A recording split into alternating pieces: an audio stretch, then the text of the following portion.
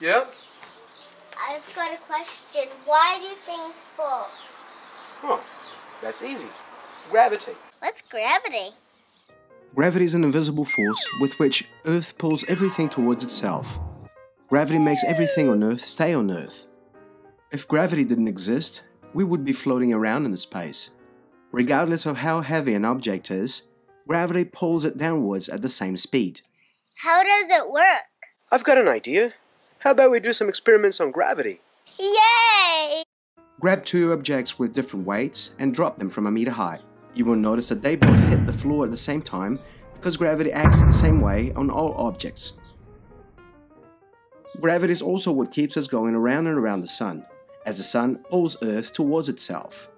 To feel the strength of gravity, tie a mesh around a ball and swing it over your head. Heavier objects will require more gravity strength to keep it in place.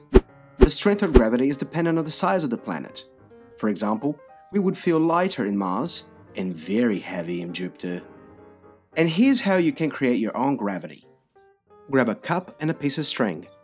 Attach this string to the cup and fill the cup with water. Swing the cup around your head very quickly. You will notice that the water will never come out of the cup, even when the cup is upside down.